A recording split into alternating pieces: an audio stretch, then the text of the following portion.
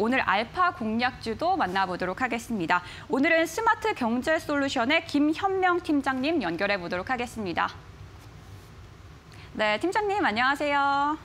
네, 안녕하세요. 네, 오늘은 저희 어떤 종목을 살펴볼까요? 네, 오늘 준비한 알파 공략주는 컴투스라는 기업입니다. 어, 앞서 레포트에서도 이렇게 나왔었지만 동사는 이제 모바일 게임이라든가 이런 걸 개발하고 이제 공급하는 주요 영업으로 하고 있는 게임사고요.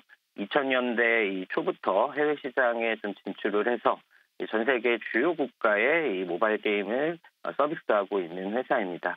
어, 주요 게임으로 이 대표적으로 좀 야구 게임 많이 어, 알고 계실 것 같은데요. 특히나 이 서머너스 워 그리고 천공의 아레나를 비롯해서 백년 전쟁 그리고 컴투스 뭐 프로야구 낚시의 신 등이 이제 존재를 하고 있습니다. 어, 2분기 매출액이 이제 전년 동기 대비 한 26.5% 늘어난 1934억 원 정도가 나왔고요. 영업이익은 65.5% 감소한 38억 원 정도로 조금 다소 아쉬운 부분은 있었습니다만 최근에 이 그 서머너즈 워이 크로니클이 출시가 되면서 단기적으로 이 시장이 반등하던 가운데 어떤 신작 출시에 대한 기대감으로 주가가 조금 이 저점을 찍고 상승했던 부분이 있었습니다. 어, 하지만 이제 게임이 출시되고 이후에 잠깐 좀 시장 분위기와 함께 조정을 받고 있는 모습인데요. 어, 자체적인 이 플랫폼이죠.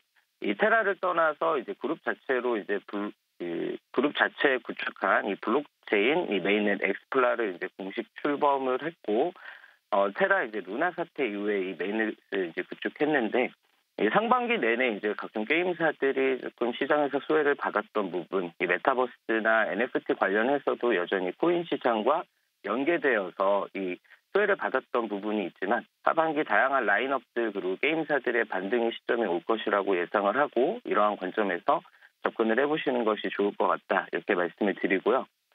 어, 특히나 그 최근에 이제 구글이라든가 애플, 원스토어 이런 3대 마켓에서 이제 어, 게임이 이제 발표가 되고 난 이후에 구글 매출 기준으로 어제 10위까지 그러니까 점진적으로 이제 순위를 끌어올리고 있다. 특히나 이제 원 스토어 같은 경우는 타이 어, store 대비 수수료율이 이 20%로 딴 데 대비해서 약 10% 정도 낮고 이 PC 매출 역시 자체 결제 시스템을 어, 적용하고 있기 때문에 어, 마진율 측면에서 우리가 좀 기대를 해볼 수 있고요.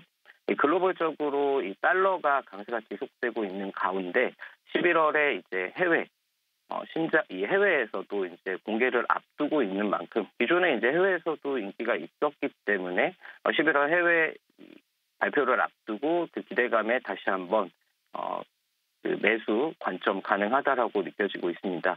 차트 보시면서 간단하게 가격 전략 말씀드리도록 하겠습니다. 어, 현재 가격 이제 8만 원대 지금 저점에서 이제 다시 올라왔다가 이제 주가가 좀 밀려 있는 모습인데요. 8만 원 부근에서 이 글로벌 리스크와 함께 어, 지금 좀 저점 매수세는 오히려 긍정적이라고 생각하고 좀 짧게 잡고 단기적으로 9만 원까지 한 10% 이상의 수익을 목표로 어, 저점 매수 가능하다고 보여집니다.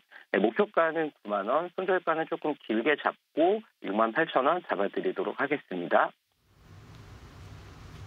네, 오늘의 알파 공략주로 컴투스에 대해서 살펴봤고요. 네, 전략까지 확인해봤습니다. 네, 팀장님 오늘 분석 고맙습니다.